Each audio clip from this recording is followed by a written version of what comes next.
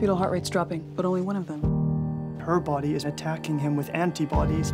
If there's a strong baby and a weak baby, it's pretty clear which one we save. Ah, am I gonna lose both of them? I don't know. Saturday at 11